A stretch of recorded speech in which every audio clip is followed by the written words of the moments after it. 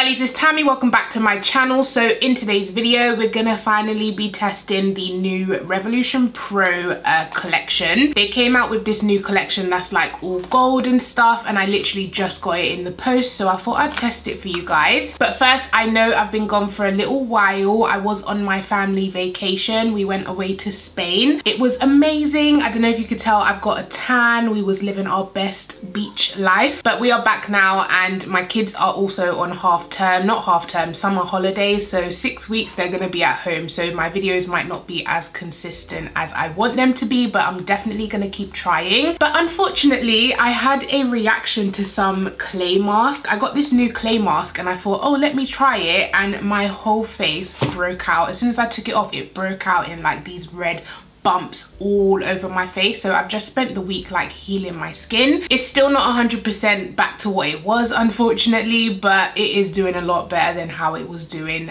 um, at the beginning of the week. So I thought I'd just film this little video for you guys. Anyways enough rambling. Let's just go ahead and get started. Now I am starting with no brows which is like a shocker. I always start with brows but this collection actually has a brow collection. Um, they have brow gels. I think this is the first brow gel revolutions ever done. They don't even have it in their normal revolution line and they also have a brow pencil. But first we're going to start with primer. So they came out with two primers. We have the hydra matte primer which is a hydrating primer serum. So i'm interested to see how it's hydrating and matte. Then we also have the Goddess Glow Primer, which is a Radiance Primer Serum. So the fact that these are called serum, I'm like leaning towards skincare primers. So I think today I'm going to go in with the Hydra Matte Primer. So of course the box is gold and I haven't taken this out yet. What does it look like? It actually looks very luxe, don't you think, with the gold lid and the like glass bottle. So it does come with a pump. I'm just to pump this onto my finger. So it seems to be like a creamy, liquidy type of formulation. I'm just to put that onto the center of my face. Feels really smooth. It does feel like a cream serum. It doesn't feel, oh, that's close to my eye. It doesn't feel matte so far, but we'll see. It feels really hydrating and like creamy. To be honest with you guys, I'm not holding out for a mattifying hydrating primer. They're kind of like two different things, you know what I mean? You either hydrate or you mattify. You can't really do both. I don't know, that's my opinion. So there's no foundation in this line. I'm just gonna go in with the Revolution Conceal and Define in F13.2. Now before my holiday, this was my good shade, but I don't know if it's gonna match me. So, oh, and I, ooh, I forgot to do my brows. I always do brows before foundation, so we're gonna do that. They've sent me two shades. By the way, all of this stuff was sent to me, but this video is not sponsored. They haven't asked me to do this video. These are the Define and Fill Brow Pencil. I have ash brown and dark brown, so of course I'm gonna go for dark brown. It feels pretty heavy, like it feels pretty weighty. Um, I don't know if that's because of the gold lid. Let me take that off yeah, the gold lids have a bit of weight to it. So it does come with a spoolie on one side and then a twist up brow pencil on the other. I'm not really a brow pencil type of person. I am more of a brow pomade type of person because, you know, I have barely have any brows. So brow pomades just seem to give me the thickness and like the finish that I like. So anyways, we're to try this. Okay, so it's not super waxy and creamy. It does feel pretty, what's the word? Hard, but not hard. I don't know how to explain it. It's applying really, really well. This is so weird to me because I haven't used a pencil in years. Not years, but like forever. Not forever. In ages, that's the word, ages. I think that was relatively quick and easy and it looks really good. I like the colour. It's not too cool tone but it's definitely not too warm i think it matches my hair pretty well right now so what i'm gonna do is take the spoolie side and just brush that through oh that is a soft spoolie you know some spoolies like proper scratch your skin? This one feels really, really soft. So I've actually got new neighbours and they've decided to fix I don't know if you guys can hear that, but they're like drilling and banging and fixing up the house and yeah, it is what it is. I'm gonna go in with a brow gel now. So I have clear, ash brown, warm brown, and dark brown, which look like that. I am of course gonna go with dark brown, gold lid once again, and they have like the color on the tube just applying that to my hairs. With brow gels it's kind of hard to give a first impressions because I need to know if it keeps my hairs like in place all day. So it's kind of like a testing thing. Okay so that is my brow more or less done. I'm gonna go in with concealer and clean up on the bottom and top Okay, you know what? I really, really like that so far. The reason I don't use pencils is because it never gives me the darkness and like the color on my tail the way that pomades do. But this is giving me a really nice, like believable tail because as you can see, I barely have a tail. So I have to create this dark illusion and I really, really like that. Okay guys, and I'm back. So my brows are now done and I did put foundation on. I did go in with the 13.2 from the Conceal and Define foundation. And luckily it still matches me pretty well. So thank God. Now we're to move on to eyeshadow. So they actually released three new eyeshadow palettes. They have these two which look like this. Uh, the black one is called Earth and Stone and then the white one is called Night and Day. So the packaging is like textured. I don't know if you guys can see that on camera. And then also the palette on the inside is textured. So really luxe feeling. I have already looked at these palettes and they are like a baked formula. So this is what they look like. The shimmers are stunning. I haven't swatched any of them, but they look stunning. I don't think it will pick up on camera. I hope it does, but they have these little sparkles to it. They look really, really nice. This brown and black look matte, but the rest of them are like satin, and then these ones are like shimmery type of glitters. So yeah, this is the night and day palette, and once again, they are like a baked type of formula, and the shimmers in here are just stunning. I don't know if you guys can see, this is like white with blue glitter. This is that blue brown duochrome. This gold is stunning. So once again, they are kind of all shimmery satin colors apart from maybe this brown and this brown and then the black as well. And then last but not least, they released this gold one, which is called New Neutral, which might, what? might remind you of the new nude palette from uh, Huda Beauty. So this is what the inside looks like. It's got like this cheetah print and then these are the shades on the inside. So I think it is a Huda Beauty dupe. So because my last video was literally comparing Huda Beauty to the Technic one, I'm not going to use this palette again because I think I'm going to come out with like the same look. But if you do want me to do a video comparing this dupe to the Huda Beauty one, definitely let me know and I can work on that for a video. But for today, I'm really intrigued to see how these come out on the eyes. I don't see any transition color in this palette apart from this one, but it is a shimmer. I am going to quickly prime my eyes with the Anastasia eye primer. I got this recently. I've used it once and so far I really really like it it is kind of similar to the uh, P. Louise one but of course this is a lighter shade than what I have from P. Louise this one's kind of like a porcelain ivory type of shade but once you like sheer it out on the lid it doesn't come out too light if you know what I mean. So yeah very pigmented. So I'm gonna start this. Ooh, pigmented. Into the crease.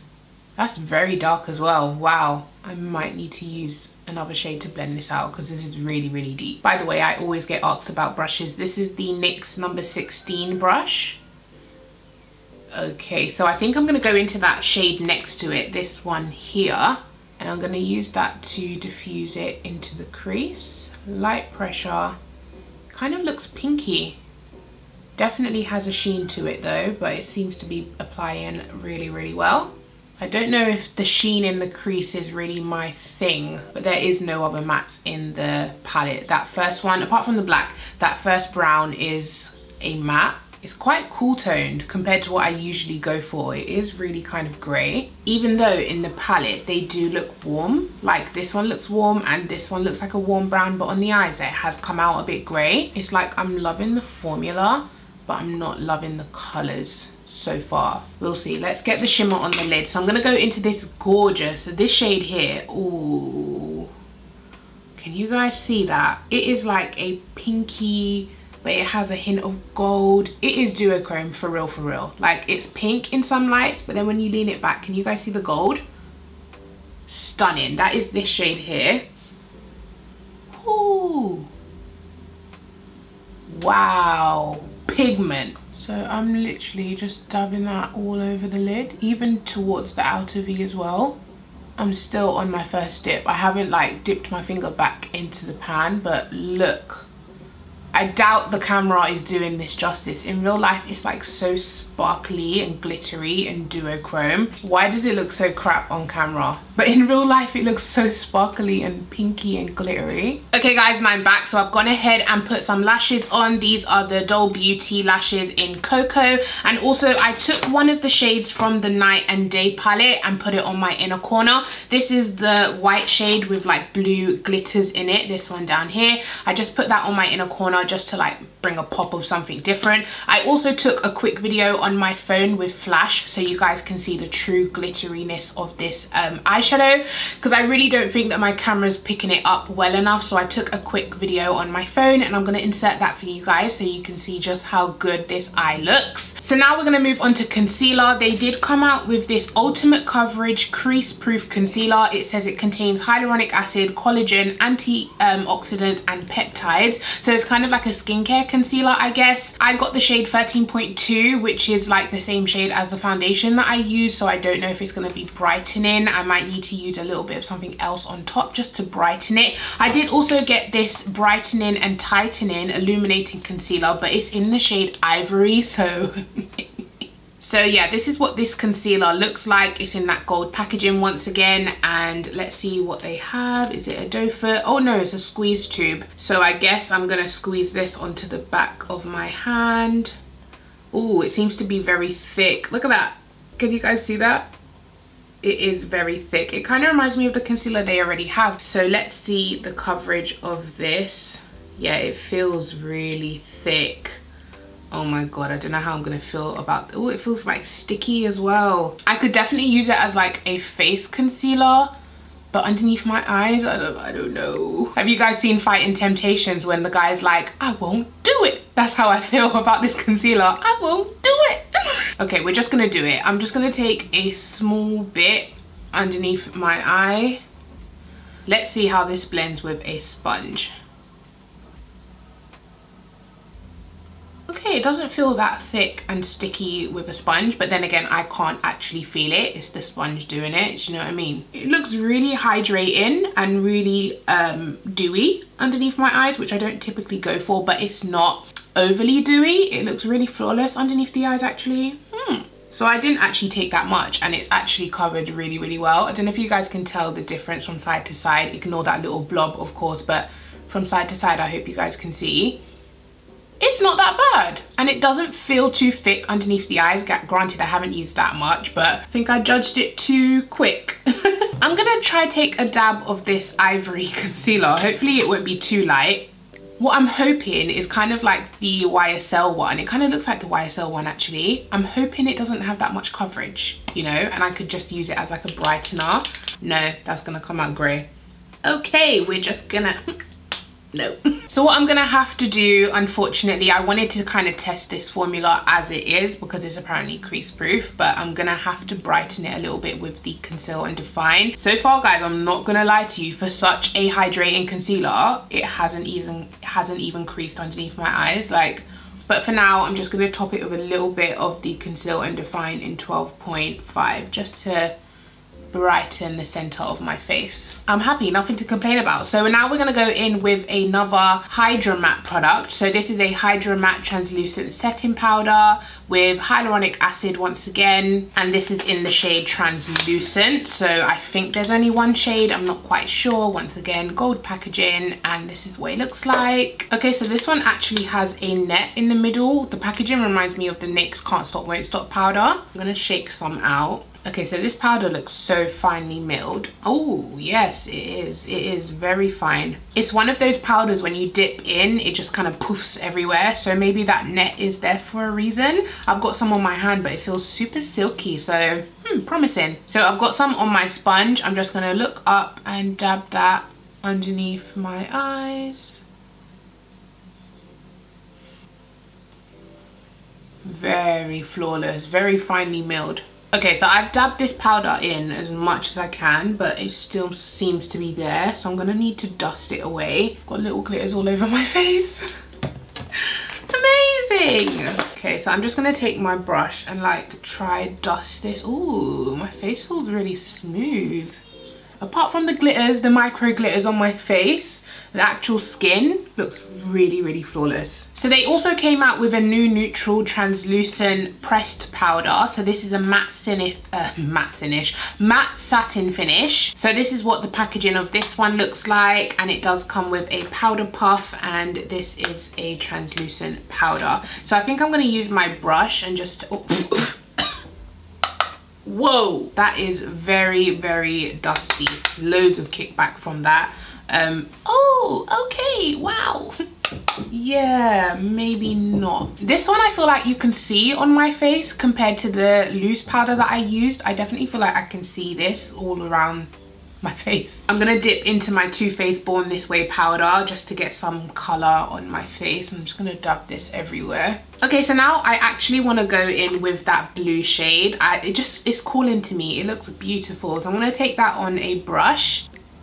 But I've been loving blue on the lower lash line. I'm also gonna dip back into that white shade up here and put that on the bottom inner half right here Okay guys, so I just did a couple things off camera. I bronzed with the Benefit Hoola Toasted. I put a tiny bit of blush on. Now we're gonna move on to lips. They have come out with six lipsticks in this collection, I believe. And they're called Satin Matte Lips so yeah these are the new neutral lipsticks. So i think i'm gonna go for let's open them all and swatch them all. Why not? So this is what the packaging looks like. They are gold with the cheetah print once again. And then these are what the lipsticks look like. So they do look like a matte finish. So this shade is called cashmere cashmere whatever. Ooh, they swatch really nice. They swatch really pigmented and creamy but yet they look matte. The next one here is called stripped and this one looks like even more of a nude pink. Let me swatch it in front of you so you can see what i mean. Do you see how pigmented and like they just glide on? Yeah this one doesn't look like a shade that i would wear. This is like baby pink nude. The next one we have here is called velvet and this one's once again kind of like a movie pink so that is velvet there.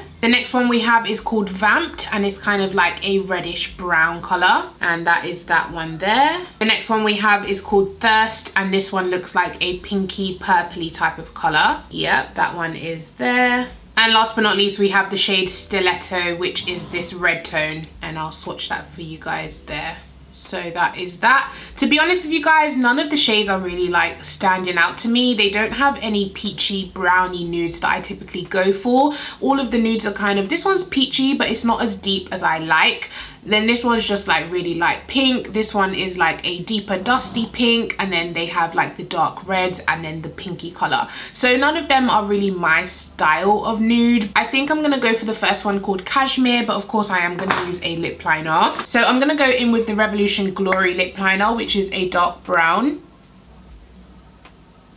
I'm just gonna apply that to the lips. Yeah super pigmented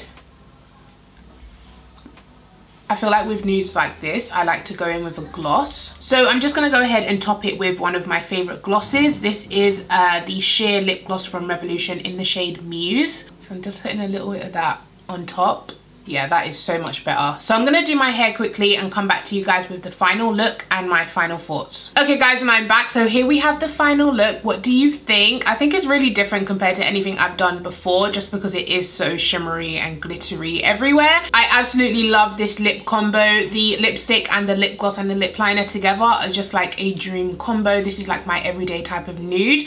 So let me quickly break it down. The brow pencil i really enjoyed using. I can definitely see myself using that again same with the brow gel. The primer i will of course have to test it out a little bit more to get my feelings on it but so far so good. The concealer i'm really enjoying how it looks underneath my eyes but then again it is mixed with one of my favorite concealers so i will have to try get my hands on like 12.5 or 12 in the um, creaseless concealer so i can just test this formula by itself. But so far i don't know if it's creaseless but it definitely sits really nice and flawlessly underneath the eyes. It's not as thick and sticky as it first appears. So so far i'm quite happy with it. The translucent powder is okay but i have powders that i enjoy more just because it is so you know, airy fairy type of powder, but once again, it does look flawless on the face and it sits really nicely. The pressed translucent powder, however, for my skin tone, I wouldn't recommend it. It did come out quite ashy and very, you know, powdery and very white cast type of looking, so not my favorite. The powders I really enjoyed, but because there is like loads of glitter all over my face right now, I don't know how I feel about it. Like if I wanted glittery eyeshadows like this, I probably would just use a normal eyeshadow and top it with a liquid glitter. It does look beautiful, but I just don't like the whole glitter all over my face type of look. So I'm mm, on the fence about the eyeshadows. I personally wouldn't purchase it like just because I love my matte shadows so much and there's not really mattes in here. The shimmers are gorgeous. They are super creamy. They apply really well, but they do fall out all over your face. So I'm going to leave that decision up to you. The lipstick formula is absolutely beautiful, really opaque, glides on really nice, but the shade selection is just not really my thing. I wish they had like a staple brownie peachy nude. I just absolutely love like basically this color but in a tube. I would love it. So overall, there's nothing that kind of blew me away that I'm thinking I need to add this to my everyday routine. They're all like good products, but there's nothing that's like amazing. Do you know what i mean? I don't know. Those are just my thoughts anyway. So yeah let me know your thoughts down in the comment section. Make sure you give this video a thumbs up if you enjoyed it. Make sure you are subscribed and i'll see you in my next one. Take care. Bye